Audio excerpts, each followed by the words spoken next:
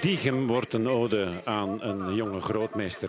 Hij bepaalt doorgaans het ritme wanneer het moet.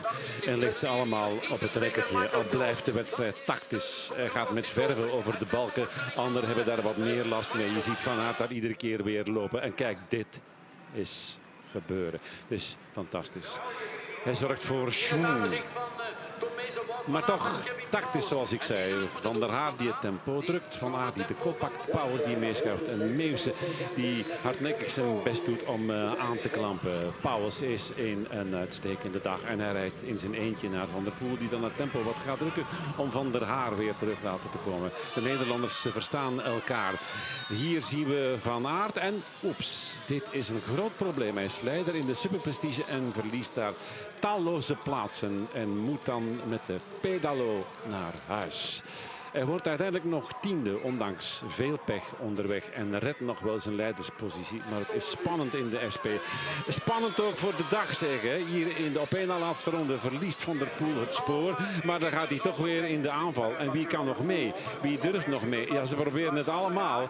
Maar ze hebben daar alvast de indruk dat hij weg is, Ribbedeby. Daar gaat de meeste ontploffen. Paulus is nog de laatste opponent. En dan dat heerlijk fantastische manoeuvre. Hier nog eens de poort Hij komt er niet onderdoor, de kleine Van der Haar. En dan gaat hij naar winst. Het is een full weekend voor hem. Na zonder ook. Hier is Paulus tweede. Van der Haar is derde. Dit is de zoon van Adrie. En hij lacht. Mathieu, fantastische manoeuvres gezien. Om te beginnen dat manoeuvre van daarnet. Wanneer je Kevin eigenlijk in de luren legt daar in die bocht. Beschrijf dat eens, hoe je dat dan aanpakt. Want je zit in een ongunstige tweede positie. Ja, dat was gewoon uh, echt op de limiet daar. En ik wist dat ik eerste moest uh, rijden. En dat bleek even later ook toen ik me volledig vastreed in de modder uh, met het laatste stuk. Als ik daar niet eerst zit, dan, ja, dan win ik de wedstrijd nooit meer. En ik heb heel veel geluk dat ik mijn schijfrem rijd, want anders had ik daar gewoon recht door de hekken ingereden.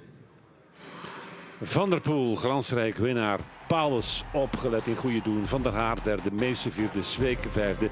Nijs, ondanks een uh, matige start en pech, zesde. Van Tornout zevende, van Kessel achtste. Walslepen negende en Van Aert toch nog tiende.